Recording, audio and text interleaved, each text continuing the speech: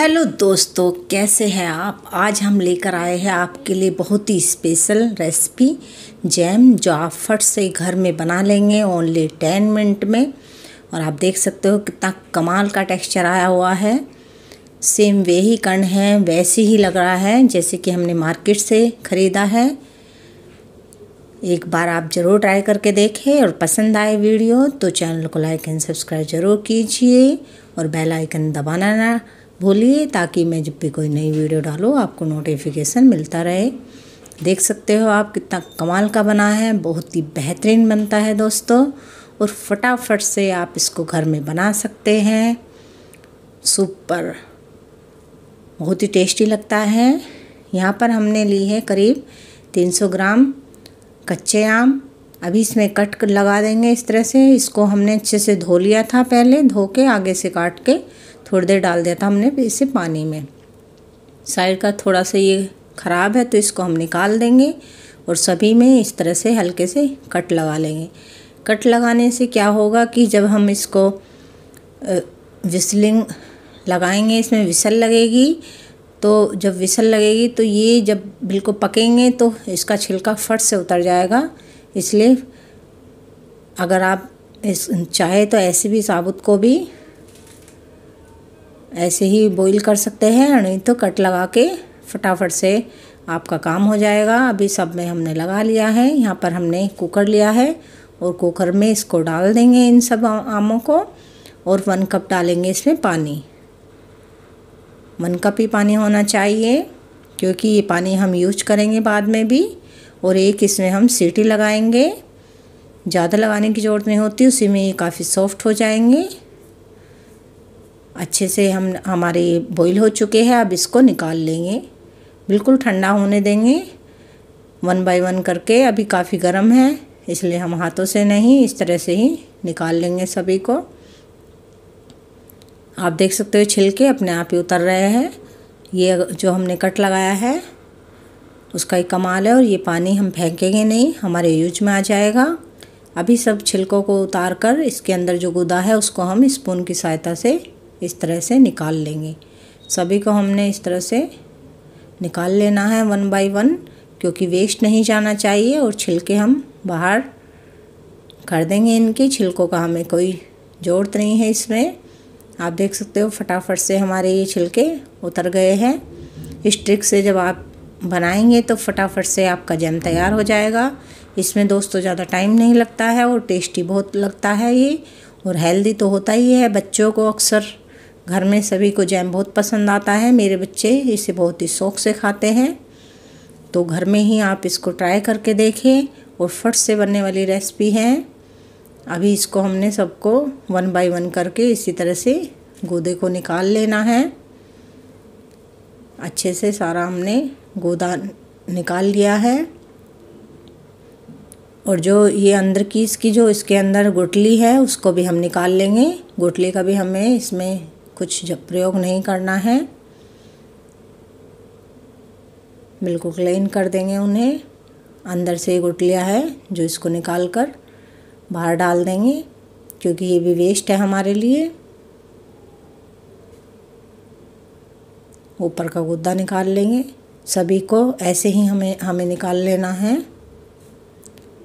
बीच में जो गुटलिया है, उसको भी इसी तरह से निकाल के साइड में रखते चले जाएँगे। फटाफट से काफ़ी सॉफ्ट हो रही है तो फटाफट से आप इसे निकाल सकते हैं इसी तरह से। अभी ये सारा हमारा तैयार हो गया है। अभी यहाँ पर हम क्या करेंगे, एक मैसर लेंगे और मैसर से इसको मैस कर लेंगे। बिल्कुल बारीक कर लेना है हमें इसे। अगर मैसर ना हो तो आप इसे स्पैचुला की मदद से भी दबा सकते हैं, उससे भी बिल्कुल ये बारीक हो जाता है। अभी जो ये पानी था वो हम इसमें ऐड कर देंगे। और फिर अच्छे से इसे मैश कर लेंगे। बिल्कुल बारीक कर देना है हमें इसे इस तरह से, आप देख सकते हो बिल्कुल बारीक हो गया है। अभी एक छलनी लेंगे। यहाँ हम जिस पैन में ये काम करने वाले हैं, उसी में हमने इसको रख दिया है और ये सारा डालकर एक स्पून से इसे दबाते हुए सारा जो गुदा है, उसे अच्छे से छान लेंगे। सारा गुदा अंदर ही चला जाएगा इसके। तो छलनी आप वो ले, थोड़ा मोटे छेद वाली जैसी मैंने ली हुई है। और इस तरह से रगड़ते हुए हम सारा अच्छे से इसको, इसके पल्प को निकाल लेंगे। नीचे अच्छे से ये निकलता चला जाएगा इसी तरह से। आप देख सकते हो कि नीचे आराम से ये निकल रहा है धीरे धीरे और जिसमें, जो ऊपर का इसमें थोड़ा सा रहेगा, उसको हम अलग साइड में कर देंगे। अभी थोड़ा सा जो पानी है इसमें, वो भी हम इसमें ऐड कर लेंगे। इससे ये क्या है कि ये फटाफट से हमारा गूदा ये निकल जाएगा। इससे क्या है, छानने से जो जैम है काफ़ी अच्छा बनेगा। इसलिए आप बनाने से पहले इसे ज़रूर एक बार छानें। अभी थोड़ा सा यही रह गया है बस। इसको हम साइड में रख देंगे और ये बिल्कुल बारीक हो गया है। अभी हम इसको रख देंगे गैस पर। अभी यहाँ पे हम ले लेंगे स्पैचुला और इसको चलाते रहेंगे। यहाँ पर आपको क्या करना है कि एलमिनियम की कढ़ाई नहीं लेनी है बिल्कुल भी आम के लिए। और यहाँ पर हम डालेंगे करीब डेढ़ कप चीनी। जितना हमने आम लिया है, उतना ही हमें इसमें शुगर का यूज़ करना है। दोनों की मात्रा बराबर होनी चाहिए तो हमने उतना ही इसमें डाला है। अभी इसको चलाते रहेंगे और इसको अच्छे से मेल्ट होने देंगे। दो यहाँ पे हमने डाले हैं दालचीनी, इससे कलर भी अच्छा काफ़ी अच्छा आएगा और फ्लेवर भी इसमें। इसलिए शुरू में ही आप इसको ऐड कर दें और हाफ़ स्पून डालेंगे इसमें हम इलायची पाउडर इससे काफ़ी अच्छा फ्लेवर आएगा और इसको चलाते रहेंगे। इसको हमें तब तक चलाना है जब तक कि ये गाढ़ा ना हो जाए अच्छे से, बिल्कुल स्मूथ हो जाएगा। ऐसे कम से कम इसको हम आठ से दस मिनट तक इसी तरह से चलाएँगे। धीरे धीरे जब ये पकेगा तो बहुत ही बेहतरीन बनेगा। आप देख सकते हो पहले से गाढ़ा हो चुका है।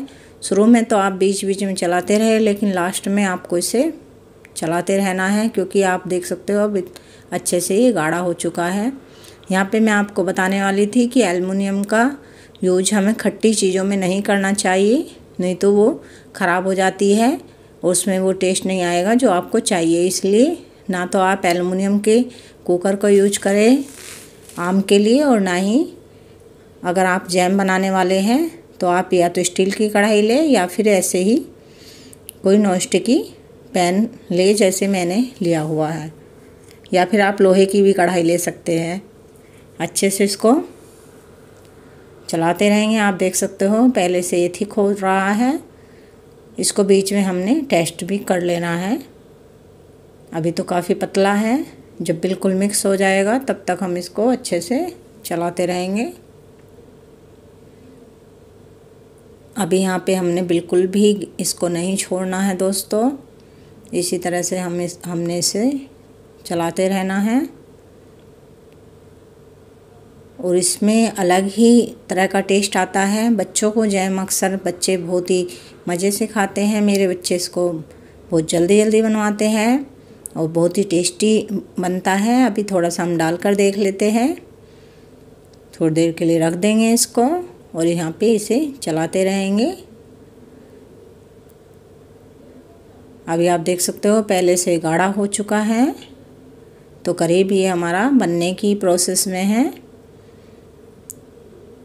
बिल्कुल मिक्स हो गया है और कलर भी आप देख सकते हो, पहले से इसका चेंज हो चुका है। इसको हमने बिना फ़ूड कलर के बनाया है। अभी आप देख सकते हो, ये थोड़ा सा हम ऐसे कर रहे हैं तो फैल रहा है तो जैम अभी पूरी तरह से नहीं बना है। तो थोड़ी देर और हम इसको चलाएँगे एक सौ दो मिनट। और यहाँ पर हम लेंगे, अब दूसरी कटो प्लेट और उसमें रखेंगे। अभी थिक लग रहा है तो हमारा मुझे लग रहा है कि बिल्कुल तैयार हो चुका है ये जैम थोड़ा ठंडा होने के बाद हम उसे चेक कर लेंगे, तब तक हम इसको चलाते रहेंगे। इतना ही हमें थिक कर देना है इसको। जब हम इसे गिराए तो इस तरह से गिरना चाहिए, क्योंकि ठंडा होने के बाद बहुत ही टाइट हो जाएगा। अभी आप देख सकते हो, जैसा हमने डाला है, वैसे ही है। तो ये जैम हो चुका है हमारा, पूरी तरह तैयार। यहाँ पर हम कर देंगे गैस को बंद। ठंडा होने के बाद ये काफ़ी ठीक हो जाएगा। बिल्कुल सेम जैम के का ही टेक्सचर आ जाएगा इसमें। अभी गर्म है, इसलिए थोड़ा आपको पतला लग रहा है। अभी आप देख सकते हो, पहले से बेटर हो गया है, लेकिन थोड़ी देर बाद ये बहुत ही अच्छा टेक्सचर में आ जाएगा दोस्तों। जैसे जैसे ये ठंडा होता चला जाएगा, वैसे ही ये पहले से बेहतर जैम की तरह ही ठीक हो जाएगा। अभी हम थोड़ा ये गरम गरम में ही कर रहे हैं। यहाँ पर मैंने एक ब्रेड लिया है और ब्रेड पर हम इसको जैम को लगा देते हैं। वाह आप देख सकते हो कितना कंदार बना है, बहुत ही बेहतरीन बना है। और अगर आपको मेरी वीडियो पसंद आए, मेरी मेहनत पसंद आए तो please please like and comment करना ना भूलिए।